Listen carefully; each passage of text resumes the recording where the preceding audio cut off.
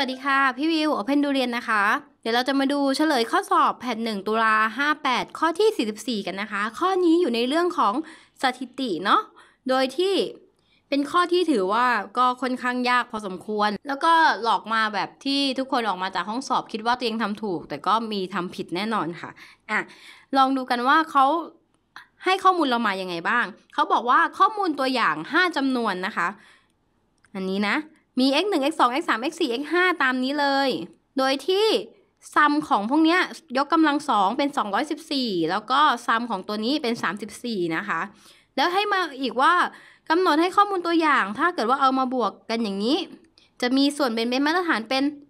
16 สิ่งที่ต้องการให้หาคือค่าเฉลี่ยของก้อนนี้นะคะอะด้วยความที่ข้อมูลตัวอย่างเรามี 5จำนวนนะคะ วิธีการหาค่าเฉลี่ยของ บรรทัดนี้เนี่ยมันก็มีอยู่ 2 แบบถูกไหมแบบหนึ่งก็คือหา x 1 x 2 x 3 x 4 x 5ออกมาให้ได้เลยอะก็จะหาค่าเฉลี่ยของตัวนี้ได้เหมือนกัน แต่ถามว่าถ้าเราต้องการหาค่าทั้งหมด 5 ค่าเนี่ย เราต้องมีกี่สมการ ต้องมีประมาณ 5 สมการใช่ไหมคะ แต่ว่าอันเนี้ยเขาให้มาแค่ 3 สมการ โอกาสที่จะหาแต่ละตัวได้ก็ค่อนข้างยากเพราะเงื่อนไขมันน้อยไปนิดนึงอะเพราะฉะนั้น ให้เดาไว้ก่อนว่า เราอาจจะหาค่าแต่ละตัวไม่ได้ แต่หาค่าพวกนี้บวกกันได้อืมหรืออาจจะหามาได้เป็นคู่คู่อะไรพวกนี้ก็ได้นะคะอะเสร็จแล้วถ้าพี่หาค่าพวกนี้บวกกันได้เอามาหาร 5 ก็จะได้สิ่งที่โจทย์ต้องการเนาะอันนี้เราก็มองไม่ออกว่าเราจะเราจะแก้ยังไง เราก็ต้องเริ่มด้วยจากสิ่งที่เขาให้มาก่อน แล้วลองทำไปแล้วดูว่า เมื่อไหร่ที่ไปเจออะไรก็ตามที่หน้าคาคล้าย ๆ กับสิ่งที่โจทย์ถามแล้วเนี่ย เราจะยึดอันนั้นเป็นหลัก เห็นไหมคะ เพราะฉะนั้นพี่จะเริ่มจากสิ่งที่โจทย์กำหนดให้มาเนาะ มีทั้งหมด 3 อันด้วยกัน ดูอันแรกก่อน เขาบอกว่าซัมของ xi กำลังสองเนี่ยทั้งหมด 5 ตัวเนี่ยเป็น 2 1 4 ใช้ทำอะไรได้อีกไหมคะ ยังไม่ได้ ก็ค้างไว้อย่างนี้ก่อนอะดูเงื่อนไขที่ 2 ค่ะ เงื่อนไขที่ 2 บอกว่าซัมทั้งหมด 5 ตัวเนี่ย แต่ว่าเอา xi มาลบ x bar ยกกำลัง 2 จะต้องมีค่าเท่ากับ 34 โดยที่ x bar ตัวนี้ คือค่าเฉลี่ยเลขคณิต แล้วก็ต้องมากกว่า0ด้วยอะเห็นหน้าตาอย่างนี้ หลายๆ คนจะนึกถึงสูตรความแปรปรวนใช่ไหมคะ ถ้าหาร 5 เข้าไปอย่างนี้ก็ได้ความแปรปรวนใช่ไหมคะ แล้วสูตรความแปรปรวนมันเขียนใหม่ได้เป็นซัม xi กำลังสองส่วน n แล้วก็ลบ x bar กำลังสองอย่างนี้ใช่ไหมเอ๊ะ อันนี้คล้ายๆกับตัวนี้เนาะ แล้วก็ตัวนี้น่าจะหาเลขได้ เพราะอันนี้หาร 5 ออกมาก็จะได้ความแปรปรวนอะทำไป แต่ขอบอกไว้เลยว่า ถ้าทำอย่างนั้นผิดแน่นอน ผิดเมื่อไหร่คะผิดตั้งแต่หาร 5 แล้ว เพราะข้อมูลอันนี้หลอกเรามาตรงที่มันเป็นข้อมูลตัวอย่าง ไม่ใช่ข้อมูลทั้งหมด ปกติเวลาเราเจอสถิติเนี่ยเขาจะบอกว่ากำหนดให้ข้อมูลชุดหนึ่งมีตึ๊ดตึ๊ดกี่ตัวก็ว่าไป ใช่ไหมคะอันนั้นก็คือข้อมูลประชากรก็คือไม่ได้บอกว่าเป็นข้อมูลตัวอย่าง แต่ข้อนี้กำหนดมาทุกครั้งว่าเป็นข้อมูลตัวอย่าง เพราะฉะนั้นการหาความแปรปรวน หรือส่วนเป็นเป็นมาตรฐานของข้อมูลตัวอย่างเนี่ยไม่เหมือนกันกับข้อมูล เวลาบอกว่าข้อมูลชุดหนึ่งมีเท่าไหร่ หรือข้อมูลที่เป็นประชากร อันนี้ต้องโน้ตไว้เลยว่า ถ้ามีคำว่าตัวอย่าง ความแปรปรวนจะต้องเอาซัม xi ลบ x bar กำลังสองนี่แหละเหมือนกัน แต่ไม่หาร n แล้วเราต้องหารด้วย n ลบ1อันนี้ก็จำตรงนี้ไว้ให้ดีเนาะค้างไว้อย่างนี้นะคะ พี่เขียนไว้ให้ดูเลย แล้วเดี๋ยวเราจะมาดูกันว่าเราจะใช้อะไรได้บ้าง หลายๆ คนมักจะไม่ค่อยได้จำสูตรนี้เนาะ โจทย์ข้อนี้ก็เลยตกม้าก็ตายกันค่อนข้างเยอะเหมือนกัน งั้นเรามาเริ่มด้วยตัวนี้นะคะ ในเมื่อเราไม่ใช้แบบความแปรปรวน เราทำอะไรกับสิ่งที่เขากำหนดให้ตรงนี้ได้บ้างคะมีกำลังสองก็ลองกระจายกำลังสองดูก่อนใช่ไหมคะได้กลายเป็นเท่ากับหนึ่งจนถึงห้าเหมือนเดิมเนาะก็เป็น x i กำลังสองลบด้วยสอง x i คูณ x bar แล้วก็บวกด้วย x bar กำลังสองเท่ากับสามสิบสี่จากนั้นทำอะไรได้อีกอะ่ะ กระจายซ้ำเข้าไปใช่ไหมก็กลายเป็นซัม i เท่ากับ 1 จนถึง 5 x i กำลัง 2 ลบด้วย ดึง 2 ออกดึง x bar ออกเหลือซัมของ x i แล้วก็บวกด้วยซัมของ x bar กำลัง 2 x bar เป็นค่าคงที่ก็เป็น n คูณ x bar กำลัง 2 เท่านี้เนาะคราวนี้อันนี้เนี่ยเดี๋ยวโจทย์ก็มีให้มา เดี๋ยวค่อยแทนทีหลัง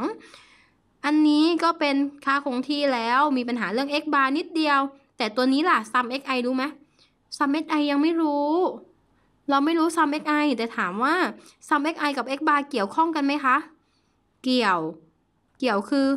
sum xi ส่วน n จะต้องเท่ากับ x bar หรือ sum xi ก็คือ n คูณ x bar นั่นเอง ได้ไหมคะ เพราะฉะนั้นพี่จะเปลี่ยน sum xi เป็น n คูณ x bar เปลี่ยนตรงนี้เลยแล้วกันเนาะ ก็เลยได้กลายเป็น ซัมของ i เท่ากับ 1 จนถึง 5 ของ x i กำลัง 2 อันนี้ลบ 2 คูณ n ก็เป็นลบ 2n x bar กำลัง 2 นะคะ จับบวกกันให้เรียบร้อยจะเหลือแค่ลบ n x bar กำลัง 2 เพราะฉะนั้นพี่ขอโน้ตไว้นิดเดียวว่าเมื่อไหร่ก็ตามที่เราเจอโน้ตไว้ตรงนี้นะ ซัมของ xi ลบ x bar ยกกำลัง 2 เนี่ย มันต้องแยกกลายเป็น ซัมของ xi กำลัง2แล้วลบด้วย n คูณ x bar กำลัง2ได้เสมอนะคะ จากนั้นพี่ขอที่ตรงนี้นิดนึงอะตัวนี้ก็เลยเปลี่ยนเป็นซัมของ xi กำลัง2ลบด้วย n คูณด้วย x bar กำลัง2เท่ากับ 34 ได้ เมื่อสักครู่ที่เราทำไปก็คือการพยายามกระจายตัวนี้มาเป็นอันนี้ ถ้าใครที่รู้อยู่แล้ว ตัวนี้ก็จะง่าย บรรทัดนี้มากระโดดมาบรรทัดนี้ได้เลยนะคะ ขั้นตอนเมื่อสักครู่ก็จะหายไปเลย ดีเนาะอะคราวนี้แทนสิ่งที่รู้ค่ะ รู้อะไรบ้าง รู้ว่าตรงนี้ต้องเปลี่ยนเป็น214แล้วก็รู้ว่า n ต้องเปลี่ยนเป็น5 x bar กำลัง2รู้ไหมไม่รู้ค้างไว้ แล้วมันมีค่าเท่ากับ 34 เอ๊ะ ตัวเลขหมดเลย ยกเว้น x bar กำลัง2 แสดงว่าเราหาค่า x bar กำลัง2ได้แล้วนะคะ ย้ายข้างทุกอย่างให้เรียบร้อยค่ะ มันจะได้เป็น 5 x bar กำลัง2เท่ากับ 180 x bar กำลัง2ของเราก็เลยเท่ากับ 36 x bar กำลัง2เท่ากับ 36 แสดงว่า x เฉยๆ x bar เฉยๆเนี่ยมี 2 ค่าไม่ 6 ก็ต้องเป็นลบ 6 ไปดูเงื่อนไขสิเขาบอกว่ามากกว่า 0 แสดงว่าใช้เลข 6 เอาลบ 6 ออกไป ก็ได้มาแล้ว อีกหนึ่งอันก็คือ x bar เท่ากับ 6 เวลารู้ x bar เท่ากับ 6 เนี่ยรู้อะไรอีก รู้ว่าซัมของ xi จะต้องเท่ากับ n คูณ x bar ใช่ไหมก็กลายเป็น 30 อืมอะโน้ตสิ่งที่รู้ไว้เพิ่มไว้ตรงไหนดี ไว้ด้านล่างนี้แล้วกันเนาะอ่าสีเขียวแล้วกันนะคะ อันนี้คือสิ่งที่เราหามาได้แล้วก็คือ x bar ของเรามีค่าเท่ากับ 6 หรือซัม xi จะต้องเท่ากับ 30อ่าโน้ตไว้ เราใช้เงื่อนไขไปแล้ว 2 ข้อใช่ไหมคะ ได้อะไรเกี่ยวกับที่โจทย์ถามยัง ยัง เห็นไหม เราเพิ่งได้แค่ x bar ตัวนี้มาเอง เพราะฉะนั้นจากอันนี้เราก็ต้องไปหาใหม่ค่ะ ดูอันนี้ค่ะ ข้อมูลสุดท้ายที่โจทย์ให้มาก็คือ ส่วนเบนเบนมาตรฐานเท่ากับ 16 ส่วนเบนเบนมาตรฐานหายังไงคะะพี่โน้ตตรงนี้แล้วกันเนาะ ส่วนเบนเบนมาตรฐานก็ต้องเท่ากับ เอาเป็น y แล้วกันนะซัม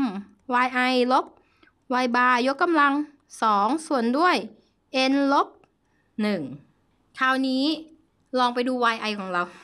x 1บวก2 x 2เป็น y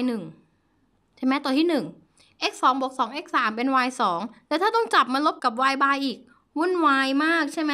เพราะฉะนั้นเรามีแล้วนี่ไงตรงสีส้มอันนี้เนี่ย เราบอกว่ามันแยกได้ แยกได้เป็นซัมของ x i กำลังสองลบด้วย n คูณ x bar กำลังสองอันนี้ก็ต้องกลายเป็นซัมของ y i กำลังสองลบด้วย n คูณ y bar กำลังสองแล้วหารด้วย n ลบหนึ่งอันนี้ถึงจะเป็นความแปรปรวนของกลุ่มตัวอย่างโอเคเนาะอะถ้าได้อย่างนี้แล้ว ลองแทนลงไปก่อนค่ะ y i ของเรา มันเขียนแบบนี้ยาก พี่ก็เขียนแบบนี้เลยแล้วกันเนาะ x 1บวก2 x 2ยกกำลัง2บวกกับ x 2บวก2 x 3ยกกำลัง2ใช่ไหมคะ บวกไปเรื่อยๆ ตัวสุดท้ายก็จะกลายเป็น x 5บวก2 x 1กำลัง2ใช่ไหม อันนี้คือ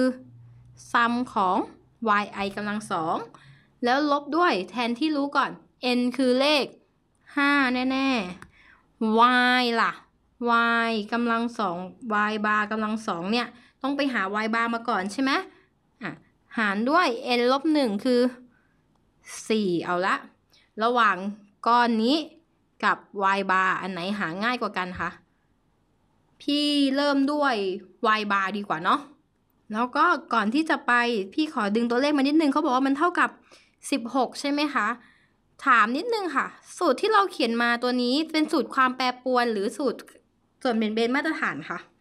ถ้าไม่มีสแควร์รูทเป็นสูตรความแปรปรวน แล้วโจทย์ให้อะไรมา ให้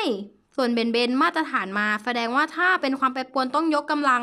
2พี่เขียนตรงนี้นะคะ16กำลัง2จากนั้นเก็บไว้ก่อน ขอไปคิดเลขมาเพิ่มก่อน คิดอะไรเพิ่มดี y bar ก่อนแล้วกันเนาะ y ของเราคือ x 1บวกด้วย 2 x 2แล้วอีกตัวหนึ่งก็คือ พี่ขอเขียนเรียงอย่างนี้นะคะ เดี๋ยวมันจะเห็นแพทเทิร์นเนาะ แล้วก็เป็น x 3บวก2 x 4แล้วก็เป็น x